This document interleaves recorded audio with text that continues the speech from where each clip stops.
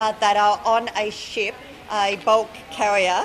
Uh, off the west of Cape York. So we're managing that at the moment, and Dr. Young will have a bit more to say about that shortly. But wonderful news to have zero community cases again. Uh, this means we are at 31 active cases. Uh, great news in relation to our vaccinations 14,998 uh, tests. Uh, should I say, overnight. So, almost 15,000 people coming out and getting tested. Thank you so much.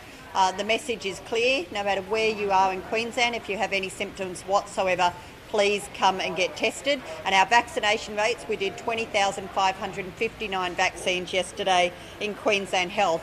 And over the entire state, across Queensland Health, uh, our GPs and our community pharmacies, we have now delivered over 5 million doses. Uh, so that is wonderful, but of course we want those numbers to keep going up. So today we have uh, 68.26% of the Queensland eligible population have had their first dose and 49.53% second dose. So we are so close to that 50% mark being fully vaccinated. So keep up the great work, uh, Queenslanders. Keep coming out and getting tested and, of course, getting vaccinated. That is the key to keeping us all safe. Now, this weekend we are expecting a very big super vax weekend because everyone who came out in their thousands three weeks ago are all due for their second dose. So we know that you need to have your second dose, and two weeks after that, you get that full protection. So it's so important that if you haven't booked in for this weekend, you can still walk in and get your second jab, and of course, you can turn up for your first jab as well. Now, to help those communities that have lower vaccination rates, we are standing up 19 high schools. So these are your local high school across 17, uh, 19 areas where we've had lower vaccination rates, where you'll be able to walk in on the weekend and get a vaccination. So, particularly, can I put a shout out to those schools' communities, your students, the parents, the grandparents, the siblings of those students at those schools. Here's the chance. Pop in to your local high school and get that vaccination this weekend. You can find those 19 high schools up on our website. It'll have uh, the hours and the days. Most of them will be open Saturday and Sunday, but have a look at what hours. And here in Mackay, we'll have the Mackay Northern Beaches High School, which will be open on Saturday for vaccinations, as well as, of course, the showgrounds and local community pharmacies and GPs. Now, I also want to mention uh, home quarantining. So, we have uh, now moved to trialling home quarantine for returning Queenslanders. Now, this will commence from the 11th of October next week. We've already started reaching out to Queenslanders stuck interstate who have already applied to return to Queensland. So it doesn't apply to someone who today jumps on a plane and goes down south. These are people who are already stuck in New South Wales and Victoria and the ACT.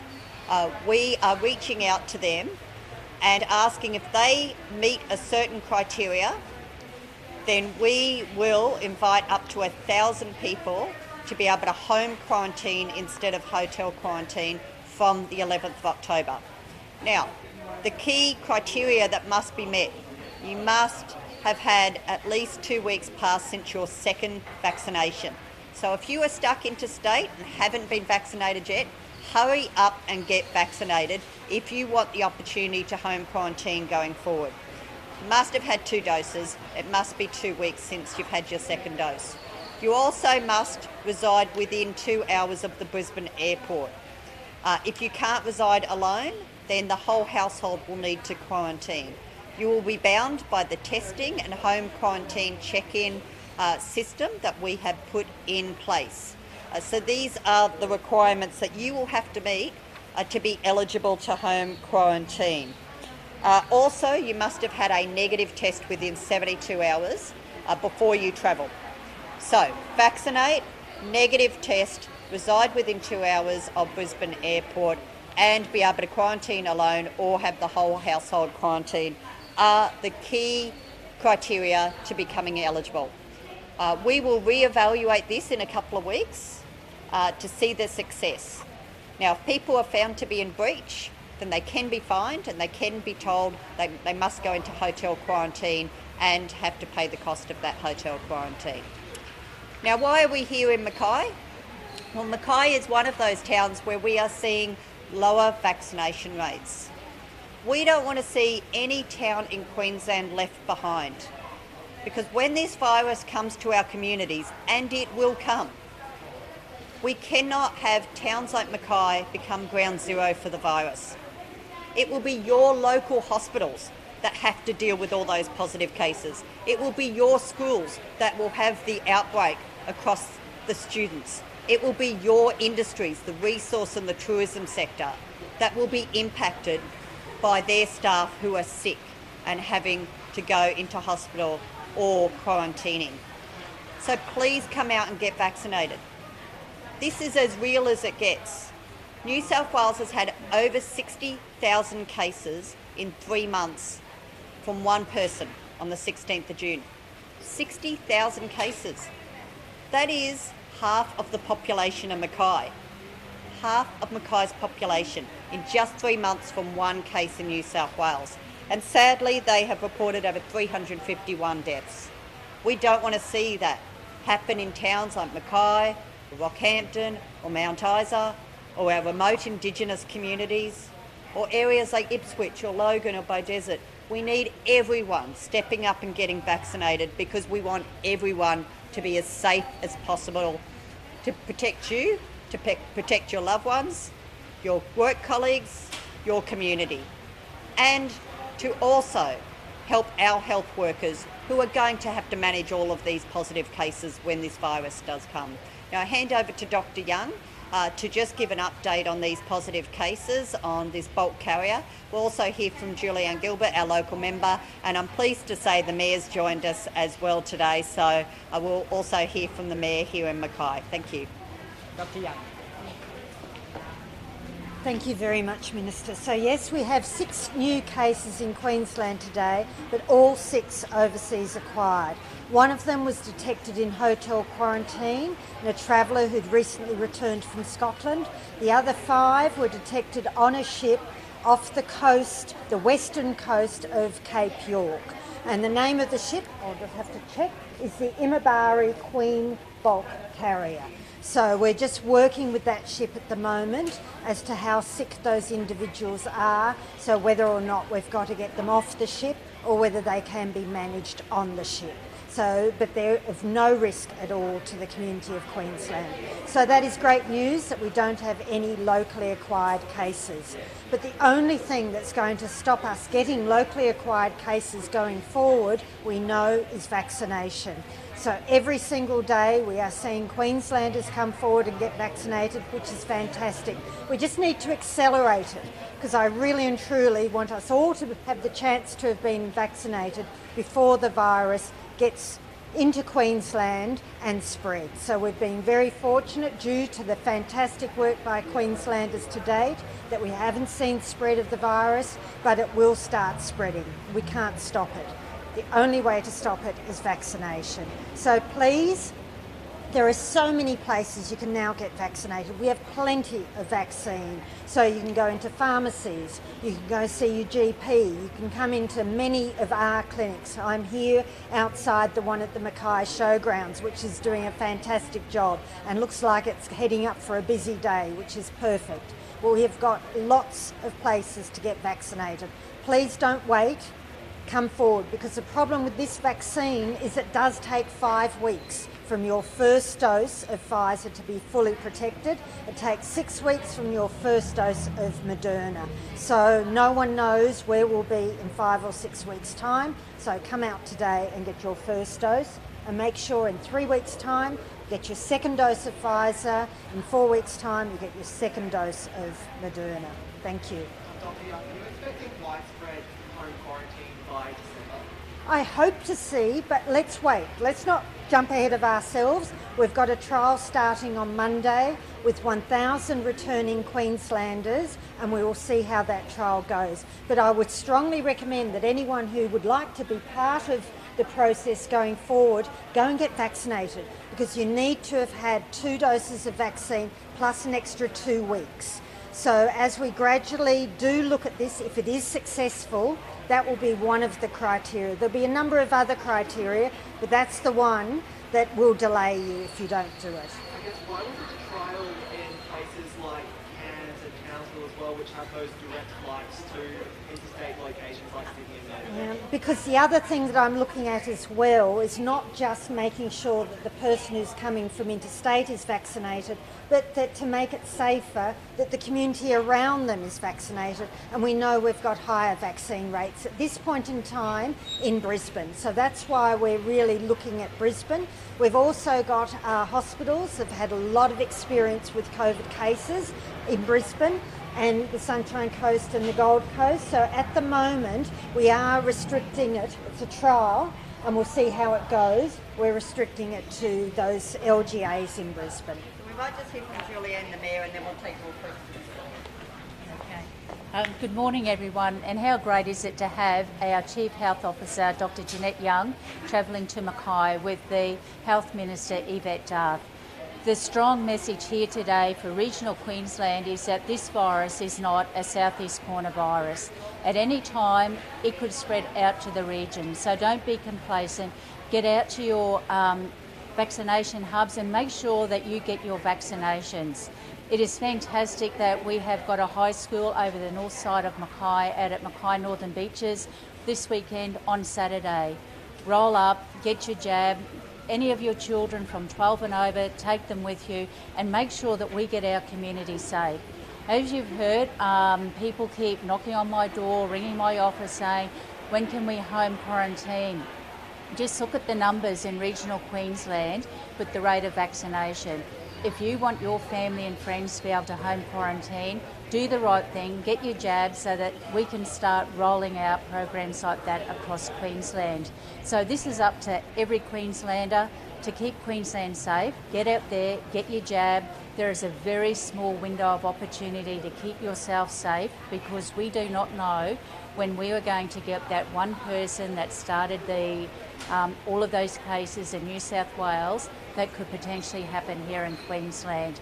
And there is not one person in my community that I want to see um, get COVID. So get out, roll up your sleeve, get jabbed. Thank you, Minister and uh, Dr. Young. It's great to have uh, the Minister and Dr. Young in Mackay today. Both the Minister and uh, Dr. Young have said, please go and get vaccinated. I think we're past saying please. You've heard where we are on the state averages. We're still 11 percentage points behind the state averages for vaccination. We've said time and time again the end result for us when Queensland opens up or Australia opens up, if we cannot handle the 20% or more that are unvaccinated in our community, the only option is lockdown. We don't need to go from hero to zero. We need to get out there now and get vaccinated. The government, the health department, uh, the school system, they're doing the absolute best this week, this weekend, to make sure there's an availability for all of our residents to get vaccinated. You need to do that now. There is no further option. We are at that critical point in our community of saying, we're not saying please anymore, we're saying it's your duty as a Queenslander, as a Mackay Region citizen, to get out there and get vaccinated. Because if you don't, you will be placing on our hospital system the onerous task of them being able to actually say who, who gets the bed, who doesn't, who gets a ventilator, who doesn't, who dies or who doesn't. That's where it's going. And so we, we, we don't need to be beating about the bush anymore around this. It is a very serious situation we are facing in our community because we are so far behind in terms of our vaccination. And we're behind because, as a community, it hasn't been here. It hasn't been here since April last year. And you, you don't realise how many people have been putting in such a huge effort to keep this community safe. Dr. Young has made a huge effort in this community, both with the fly in, fly out workforce, with the ships off Hay Point and Dalrymple Bay. We've had numerous episodes where been, we've been very, very close. So it's not we're lucky, it's not got anything to do with the water we drink or the sunshine. It's because a lot of people have put a lot of effort into keeping our community safe. Now we're at the critical point. You just need to go and get vaccinated.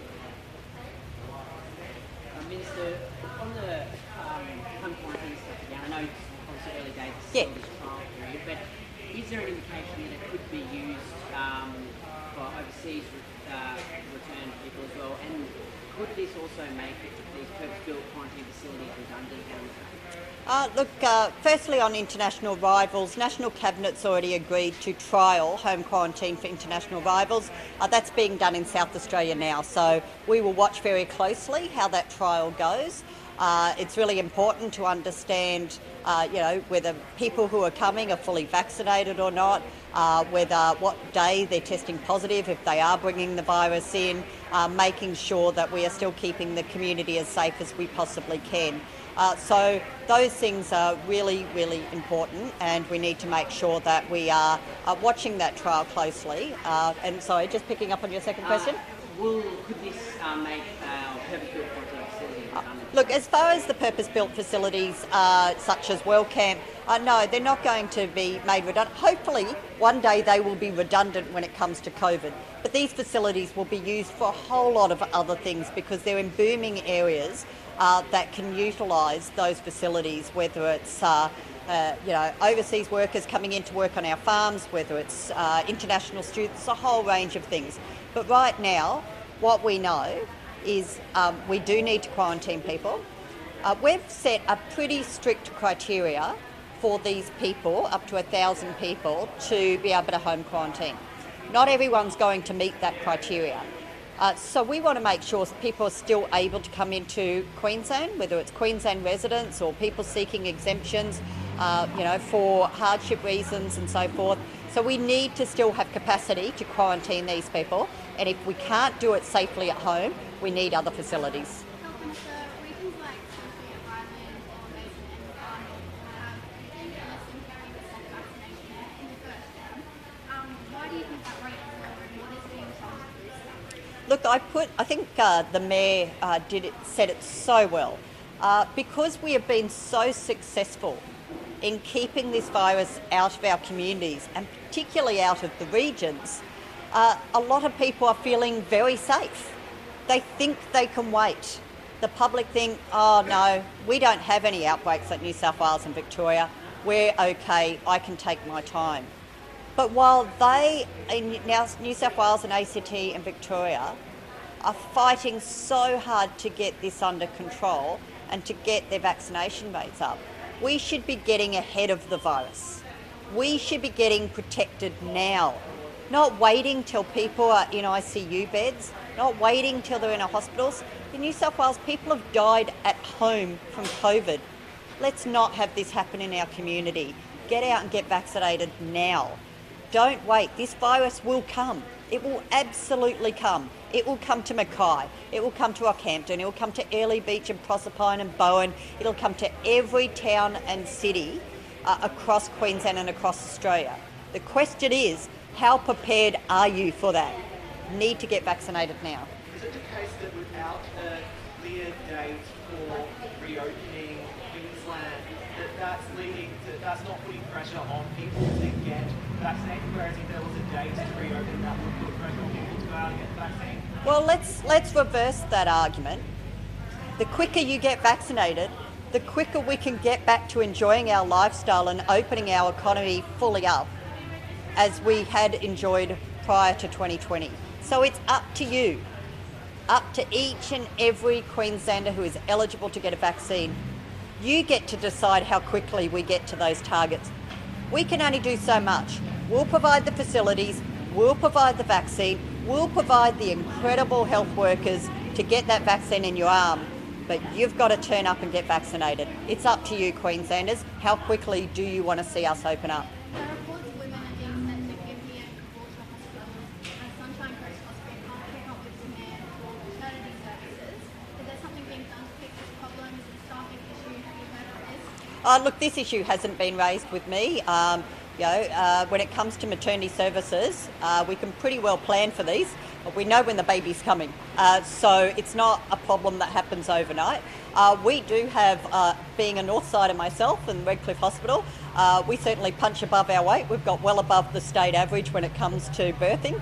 Uh, and we have amazing hospitals that deliver those maternity services. So, Sunshine Coast University Hospital have great facilities there, as do all of our hospitals um, uh, in that area. And I have no doubt that they'll be managing any surges in those demands. Is there, sorry, is there a directive being considered at all um, that we may have to pay for COVID tests unless we're referred to by GPs Oh, look, those, um, those things aren't being considered at this time. Uh, our testing system in Australia, and particularly here in Queensland, uh, is second to none. Uh, and you know, we use the testing system we do currently because it's the most accurate testing system. As we go forward, we may see changes in what becomes the new norm living with COVID. But right now, uh, our testing system uh, is incredibly efficient. Uh, we have very quick turnaround with tests. Uh, and the accuracy of those tests, uh, as I say, second to none. So it's really important uh, that we keep using that system uh, in the short to medium term and people keep coming out and getting tested. Is the Premier not media today because the cash access? Uh, the Premier's not the Premier's not fronting the media today because the Chief Health Officer and I are here in Mackay uh, doing the COVID update, and uh, the Premier uh, considered uh, that it would be appropriate that the Chief Health Officer uh, deliver our message on our COVID numbers every day, and we're able to explain uh, those overseas cases. So, uh, no, if the Premier was here in Mackay with us, I'm sure she'd be standing up with us. If we were all in Brisbane, we'd all be standing up together. And how can the government say it's committed about transparency when businesses shell out $5,500 for access to the Premier and Hermes? Um, the only way you do you know that happens is because uh, we have full transparency. We are so proud of our electoral laws in this state. In fact, our electoral laws and transparency around political donations is leading the country. We have the best in the country. Right now, someone could walk into a federal member's office and hand over $14,000 in cash and it doesn't have to be disclosed. Just think about that. $14,000 of cash and it doesn't even have to be disclosed. Here in Queensland, a donation of $1,000 or more has to be disclosed and it's disclosed real time. Within seven days, you know that donation's been made and you know who it's been made to and you know who's made that donation. So we have the strongest laws in the country. What I'd love to see is every other state and particularly the Commonwealth to bring their electoral laws into line with Queensland and have full transparency on donations. I'll also remind Queenslanders we've changed the laws. In 12 months' time, there won't be those sort of cash for access um, uh, functions at all because we will be switching over to the new system uh, where there is very limited donations allowed to be given to individuals and political parties. Just got one from our Brisbane team. Um, I'll just read it out. Sorry. The health hub opposite Morayfield was forced to close its minor accident and illness centre last week due to a lack of support from government. unquote. They claim all levels of government have passed the bucket funding. Is there support services available and is there something more that the state government can do as opposed to federal? Well, we are doing something. We're building uh, seven satellite hospitals in southeast Queensland, uh, which will see people diverted away from our emergency departments and our hospitals. Uh, that is the model that we are adopting that we know will make a real difference and taking those services into the community. Now, I appreciate that there's private practices out there uh, who uh, do seek government funds uh, to uh, provide their services. But we have a limited bucket of money. Our funding has to go into our public health system. It should be the Commonwealth who is stepping up and supporting the primary and allied health care sectors because where there's market failure there, where there's no GP that you can see, that's wait times of weeks to see a GP, that there's no bulk billing, there's no specialists in their town, there's no psychologists or psychiatrists that you can see. Where do all those people end up? In our EDs, being called and picked up by our ambulances and taking up our hospital beds. So we need aged care, disability, allied, primary health care, more support for our GPs in our regions, more GPs in our regions. That's how we can help our public health system. Um, Minister, what do you think about the rumours swirling around today that the Redcliffe Dolphins are set to be unveiled as the 17th NRL team? Hurry up and make the announcement. Uh, it's killing me. I can't wait any longer. I need to know. It's got to be Dolphins. Please, NRL, put us out of our misery. Stand up today. I'll be happy. and announce the Dolphins as the next NRL team.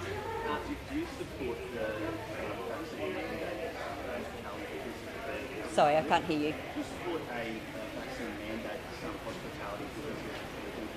Look, those are discussions. Um, discussions. Uh, the question of whether we should mandate uh, in other business areas and other sectors. We've mandated it for our health workforce and our aged care workforce. That's the right thing to do because we want to keep our health workforce uh, protected, and we also need to make sure we've got the people turning up to their jobs and not sick with COVID. But we also need to protect the most vulnerable, and that is our patients and residents coming into aged care. Um, it is, and it should be, a national decision as to whether that's expanded to other sectors. I understand some employers are wanting to bring this in. Um, they want to protect their own workforce and they want to protect their customers uh, and the public. Uh, but that really should be a decision uh, that is made at a national level so we have consistency across the country. Um, on ambulance revving, the LNP uh, speaking about it again today, we saw um, a number of hospitals up north here go code yellow yesterday. Um, are we, is there still a lot of work to be done to, I guess, fix seems to be an issue with the ambulance in? Well, ambulance ramp because there is not enough bed capacities in our hospitals. So people get clogged up in emergency departments because there isn't the beds available. Why are there no beds available? Because we have 600 people today in our Queensland hospitals uh, that should be in the community with a disability package, that should be in an aged care facility or cared for at home uh, with aged care support. Uh, these are not people who need treatment in a hospital. They are people who should be having a better quality of life in the community. That is the sole responsibility of the Commonwealth. But also, we've got increase in mental health attendance. We have more complexity uh, with our seniors. Uh, we need to make sure that people can go see their doctors, go get allied health support and treatment before it ends up critical. Because when they can't get those services in their community, and Mackay knows this, you know, all across your region, you know there is not enough GPs and allied health care in your communities. Where do those people go? They call an ambulance or they walk into our emergency departments. So we need to work together. We need the Commonwealth working with us. The Commonwealth, in refusing to provide any further support to states and territories in the health se- health- healthcare sector, says one of two things. They're ignorant or they're arrogant. Ignorant because they either don't understand that there is a market failure with primary and allied healthcare across this country that is putting pressure on our public hospitals, or they're arrogant because they don't care and they don't think they have any role in helping us manage these issues. Uh, either way, it's not good enough. It's letting down Australians. It's letting down Queenslanders. I'm extremely disappointed in Scott Morrison's response. And every health minister will be disappointed in seeing the response we got yesterday, which is no, we're not going to help you anymore, just when we're trying to open up our country and make sure that our healthcare system can provide the care it needs. Um, ask how likely is it that Queensland will the 50% double dose today? I hope it happens. I definitely do that we reach 50%, but it's actually not in my hands. It's in everyone else's hands because we've got the vaccine. We can ex- go way beyond that. We've got the resources, the clinics like this one here. It's up to Queenslanders to come forward and get a jab in their arm. No, no, I was just going to say, um, we've, uh, BHP has indicated that they're going to put in a mandate for workers won't be allowed on site unless they're vaccinated or done a vaccination process. We're obviously big mining community as you head up north. Is- Is that good to see, I suppose, that we're seeing even our largest companies taking that initiative uh, as well? We're really trying to push for these vaccinations. Yeah, can I say the resource sector in Queensland has been brilliant from day one. They have worked with me so well, and I'll give them ideas, and they just have run with them right from day one. And that's why we've not seen an outbreak in any of our mining areas. It's been amazing to see, it really has. And they have always been determined to keep the communities that they work in safe. So they might be in a mine, but they're then worried about the local community that supports that mine. And they've done a wonderful job. And yet again, they're doing a wonderful job. So, right from the start, when the first vaccines were available, they were knocking on my door saying, please, could we have vaccine for our fly in, fly out workers? But it was on the proviso that there was also vaccine for the local town. They didn't want to see that they were going to take away anything from the local community. So, wonderful work by them yet again. What would you be comfortable reopening state borders? 90%, 95%? Yeah, what threshold? I, it's easy. That's a really easy question. Thank you for answering it yet again. I want every single Queenslander who's 12 years of age or older to have been given the chance to get vaccinated. Then I believe this is people's choice. I just hope they choose the vaccine. And that's once that's happened, then I think we have the discussion about is that enough. When do you decide, though, when that everyone's had the chance? Well, I don't think everyone has. We've really only had that large amount of vaccine available for the last couple of weeks. So I always thought it was going to be end of September, going into October, that we'd be able to do that really big push. And that's what's happened. So today we've got lots of vaccine.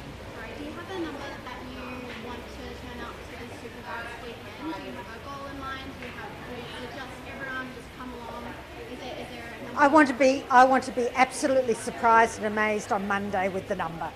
I just want it to be as high as it can possibly be. Thank you. One more sorry. Yes. Sorry. Yes. Um, we're obviously seeing some schools um, doing the vaccines. Could we see in the future more schools? Yes, schools? of Is that what course.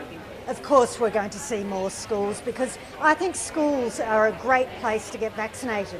Every school, every community, not quite some of the very small ones, but we've got other processes for there. Any community of any degree of size has got a local high school with a hall. So we'll be looking at that and we'll be working that through. Thank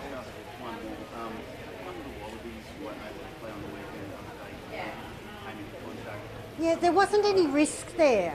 Um, that, I mean, Townsville is a fantastic public health unit. They are really, really good at what they do, and they worked out the risk. So there weren't any issues, but they were very cautious and worked it through. Thank you. Rob Weissman